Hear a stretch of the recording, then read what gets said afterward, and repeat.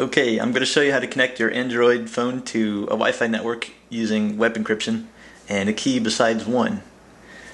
So here's my test network uh, with an SSID My Wi-Fi and the usual way to connect is through the Android settings, wireless networks, Wi-Fi settings, and there it is, my Wi-Fi secured with WEP. I'll try connecting to it, paste in my key.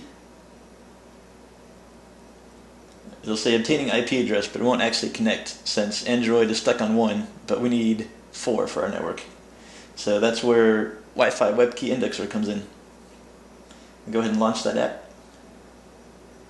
We've already added that network, so we don't need to do the pre-flight.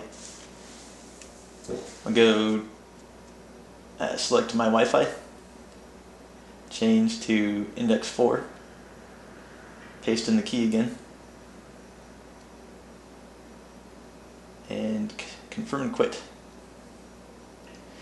Alright, so there's no Wi-Fi icon since we're not connected yet, but there you go, just connected. And that's how you switch key indexes.